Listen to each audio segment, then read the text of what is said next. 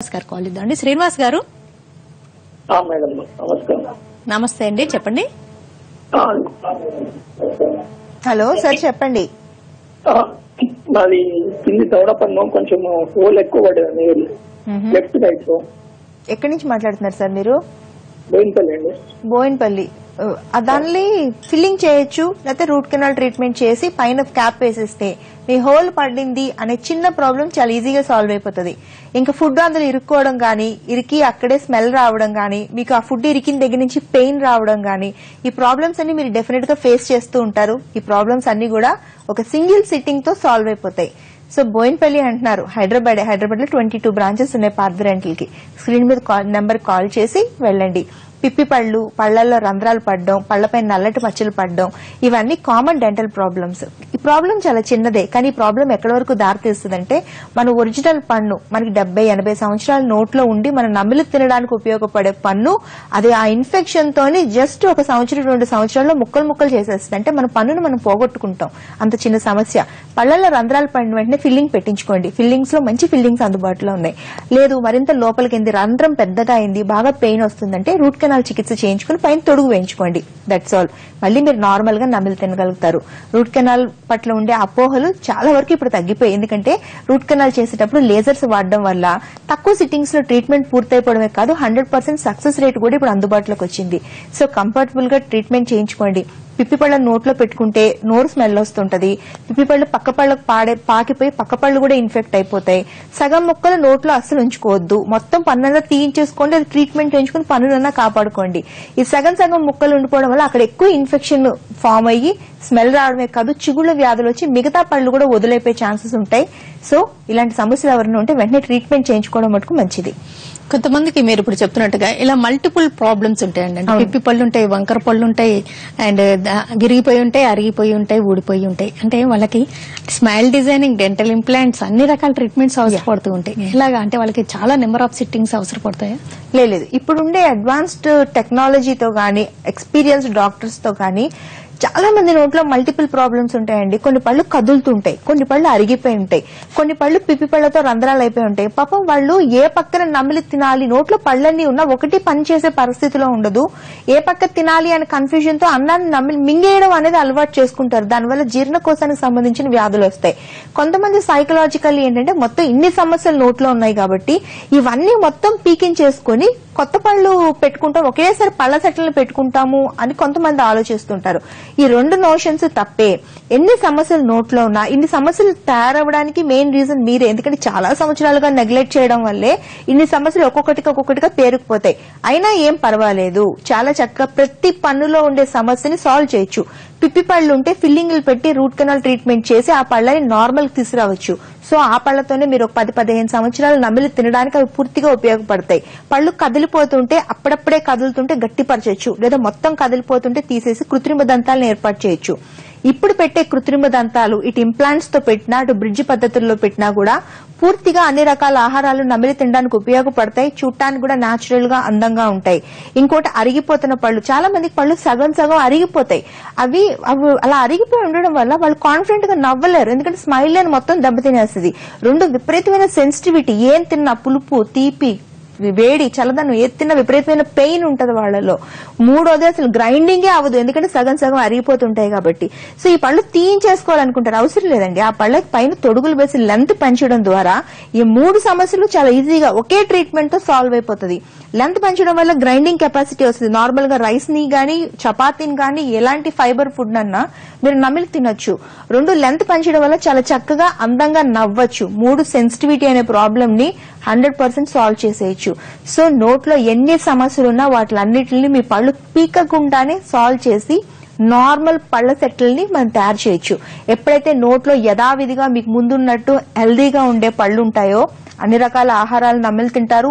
Health pickup అవుతుంది. ఎప్పుడైతే health pickup అయిందో నోట్లో పళ్ళన్నీ కరెక్ట్గా ఉన్నాయో ఫేషియల్ అపేరెన్స్ పర్ఫెక్ట్ అయిపోద్ది. యూ లుక్ మోర్ బ్యూటిఫుల్ ఎక్కువ అందంగా కనిపించడమే కాదు ఉన్న వయసు కన్నా చాలా యంగ్గా కనిపించే అవకాశాలు కూడా పూర్తిగా ఉంటాయి.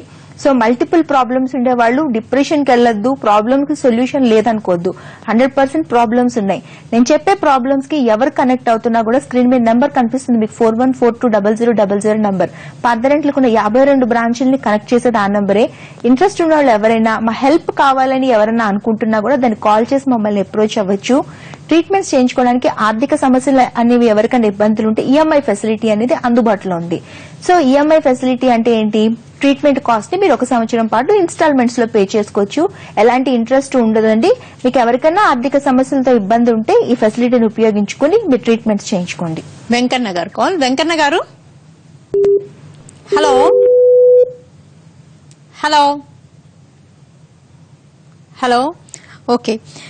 వయసు పైబడితే ఏమైనా డెంటల్ కానీ గమ్ ట్రీట్మెంట్స్ కానీ ఏమైనా లిమిటేషన్ ఏర్పడే అవకాశం ఉందా? ఏ వయసు వాళ్ళే ఏ ట్రీట్మెంట్ అయినా ఎప్పుడైనా తీసుకోవచ్చు? హండ్రెడ్ పర్సెంట్ తీసుకోవచ్చు. ఏ వయసు వాళ్ళన్నా రెండు సంవత్సరాల పసిబిడ్డ దగ్గర నుంచి ఎనభై సంవత్సరాలు తొంభై సంవత్సరాలు వచ్చిన పెద్దవాళ్ళు కూడా వాళ్ళకి ఎలాంటి సమస్యలు ఉన్నా షుగర్ ఉన్నా బీపీ ఉన్నా గుండె జబ్బులున్నా నరాలకు సంబంధించిన జబ్బులున్నా కిడ్నీలో ప్రాబ్లమ్స్ ఉన్నా ఎనీ జనరల్ ప్రాబ్లమ్స్ ఉన్నా కూడా వాళ్ళు హ్యాపీగా డెంటల్ ట్రీట్మెంట్స్ చేయించుకుని చాలా చక్కగా పళ్ళు పెట్టుకుని హెల్దీగా ఉండే అవకాశాలు అందంగా యంగ్గా ఉండే అవకాశాలు ఇప్పుడు పూర్తిగా ఉన్నాయి. సో పెద్దవాళ్ళు అయిపోయిన తర్వాత ఈ లిమిటేషన్స్ డెంటల్ ట్రీట్మెంట్స్ చేయించుకోకూడదని అపోహలకు వెళ్ళకండి. మీరు చేయవలసిందల్లా మీరు వాడుతున్న మందులు మీకు లేటెస్ట్ షుగర్ రిపోర్ట్స్ అవి తీసుకుని మీ- మీ డయాగ్నోస్టిక్ వచ్చే టెస్ట్ రిపోర్ట్స్ తీసుకుని వస్తే చాలు. మీ హెల్త్ కండిషన్కి తగినట్టే మీకు ట్రీట్మెంట్స్ చేసి మీ ఓరల్ క్యావిటీని హెల్దీగా చేస్తాము. ఇది వరకు పళ్ళు రెండే సెట్లు ఉండేవి. అంటే పాల పళ్ళు పర్మనెంట్ టీత్ ఇప్పుడు ఇంప్లాంట్స్ అనేవి అందుబాటులోకి వచ్చిన తర్వాత నోట్లో ఒక్క పన్ను లేకపోయినా పెద్దవాళ్ళు అయిపోయిన తర్వాత పళ్ళ సెట్ల మీద ఆధారపడి ఇంకా పళ్ళ సెట్లతోనే ఉండాలి ఎలాగా అని భయపడే వాళ్ళందరికీ కూడా ఇంప్లాంట్స్తో మూడో సెట్ని క్రియేట్ చేయగలుగుతున్నాం. అంటే నోట్లో పై దవడలో కింద దవడలో కూడా ఇంప్లాంట్స్ వేసి కృత్రిమంగా ఆర్టిఫిషియల్గా ఫిక్స్డ్ పద్ధతుల్లో మళ్ళీ మూడో సెట్ని క్రియేట్ చేయగలుగుతున్నాం. సో ఎవరికైనా కూడా యాక్సిడెంట్స్లో పళ్ళుపోయినా పిప్పి పళ్ళతో పళ్ళుపోయినా చిగులు జబ్బులతో పళ్ళుపోయినా ఏజ్తో పళ్ళుపోయినా కూడా ఇంప్లాంట్స్ తోని మూడో సెట్ని మనం ఫిక్స్డ్ పద్ధతిలో క్రియేట్ చేస్తున్నాము. సో ఎవరు డిప్రెషన్కి వెళ్ళొద్దు భయపడద్దు. కంఫర్టబుల్గా పళ్ళు పూర్తిగా పెట్టే అవకాశాలు ఉన్నాయి ఎవరికైనా భయాలు ఉంటే మా మొత్తం మాట్లాడండి. లేదా WW dot Parthadental dot com అనే వెబ్సైట్ ఉంది. అందులో లైవ్ చాట్ ఫెసిలిటీస్ ఉన్నాయి మీ సమస్యలన్నీ చక్కగా సెల్ ఫోన్లో ఫోటోలు తీసి అక్కడ పోస్ట్ చేసి ప్రతి సమస్యకి ప్రశ్న మీరు అడగండి. మా డాక్టర్స్ అందరూ మీకు ఆన్సర్ చెప్తారు. సో మీకు ఫస్ట్ హెల్దీ నాలెడ్జ్ వస్తుంది హెల్దీ డైరెక్షన్లో ఆలోచించడం మొదలు పెడతారు. సో ఎప్పుడైతే ఆలోచించారో ట్రీట్మెంట్స్ చేసుకుని హెల్దీగా అవ్వడం కూడా చాలా ఈజీ. పళ్ళు వదులుగా అయ్యాయి గ్యాప్స్ వచ్చాయంటే తప్పనిసరిగా వాళ్ళకి గమ్ ప్రాబ్లమ్స్ ఉన్నాయని అనుమానించాల్సిందేనా? అంతేనండి. జనరల్గా ఏజ్ అయిపోతుంటే పళ్ళు సందులు వచ్చేస్తున్నాయి.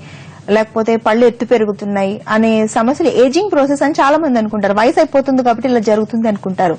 జనరల్గా పళ్ళకి ఏజింగ్ అనేది లేదు. ఎన్ని సంవత్సరాలైనా పళ్ళు అలానే కంఫర్టబుల్గా ఉంటాయి. కానీ పళ్ళు సందులు వస్తుంటే ఒకసారి ఆలోచించండి. పళ్ళు సందులు ఉంటే ఎన్ని ఇబ్బందులు? ఒకటి మనకున్న వయసు కన్నా మనం ఎక్కువ వయసు ఉన్నట్టు కనపడతాం. రెండు మాట్లాడితే స్పష్టత ఉండదు. నత్తి మాటల్లా ఉంటాయి. మూడు ఏదైనా పళ్ళ మధ్య నుంచి కొరుకుతుంటే అన్ని ఆ పళ్ళ సందులోకి ఇరుక్కుపోయి చిగుళ్ళు వ్యాధులు వస్తుంటాయి. పళ్ళ మధ్యన సందులు ఉంటే ఇన్ని రకాల సమస్యలతో ఇబ్బందులు పడుతుంటారు. కానీ ఆ సందులు క్లోజ్ చేసుకోవడం చాలా ఈజీ ఒకటి స్మైల్ డిజైనింగ్ అనే ట్రీట్మెంట్ ద్వారా చాలా సింపుల్గా సందులు క్లోజ్ చేసుకోవచ్చు. మూడు కంపోజిట్ అనే మెటీరియల్ సన్న సందులు ఉంటే అందులో పెట్టి ఒక గంటలోనే సందులు క్లోజ్ చేసుకోవచ్చు. మూ- నా- మూడోది ఏంటి క్లిప్పుల చికిత్సతో సందుల్ని క్లోజ్ చేసుకోవచ్చు. ఇవన్నీ కూడా పర్మనెంట్ ట్రీట్మెంట్స్ పళ్ళ మధ్యన సందులు వస్తుంటే వాటిని క్యారీ చేయొద్దు. ఏజ్ వల్ల సందులు రావు.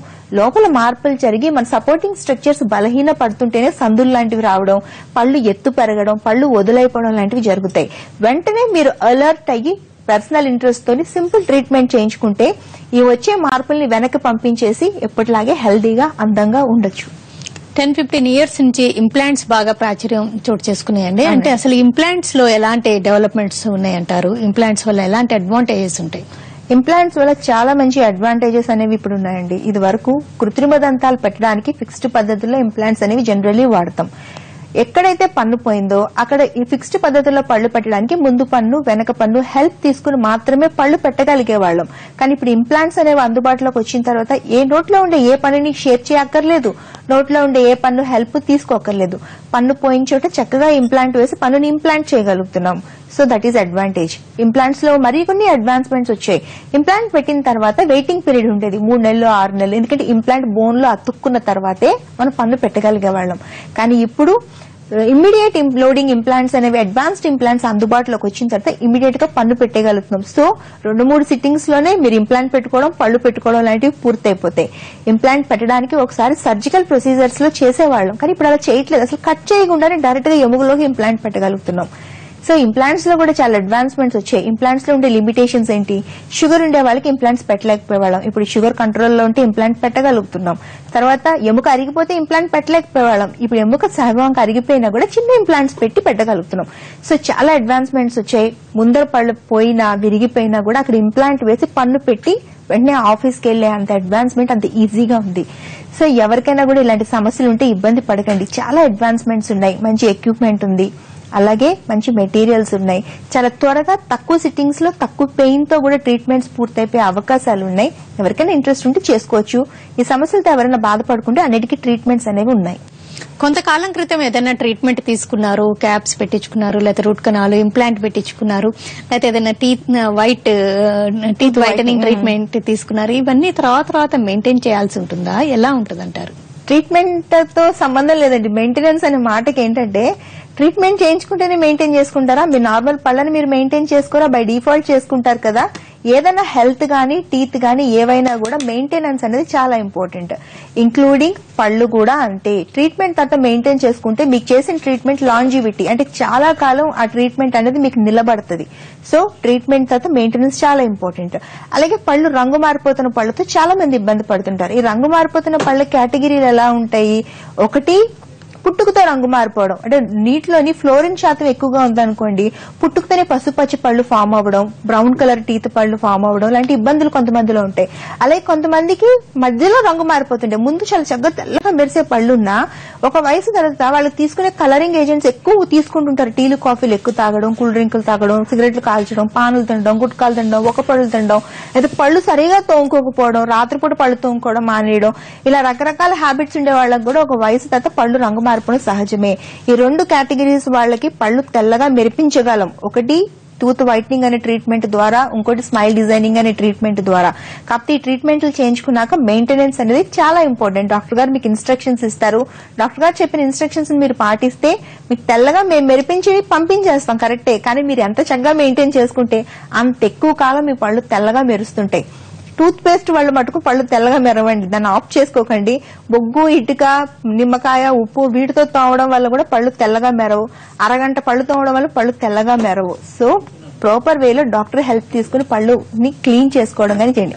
ఒకే ఒక పార్ట్ అందం ఆరోగ్యం ఉండే పార్ట్ మన ఓరల్ క్యావిటీ సో దాన్ని ఆరోగ్యంగా ఉండాలన్నా అందంగా ఉండాలన్నా కూడా రైట్ వేలో ఉండాలి. రైట్ వే డైరెక్షన్లో హెల్దీగా ఉంటే చాలా కాలం మన ఒరిజినల్ పళ్ళు పోకుండానే మనం అందంగా ఆరోగ్యంగా కూడా ఉండే అవకాశాలు ఉన్నాయి.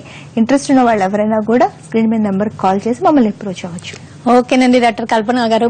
దంతా చిగుర్ల సమస్యలకు పార్థ డెంటల్స్ ఎటువంటి లేటెస్ట్ ట్రీట్మెంట్స్ ఉన్నాయో వివరంగా తెలియజేసినందుకు థ్యాంక్స్ అలాట్ అండి. ఇది వాళ్ళ హలో డాక్టర్ నమస్తే.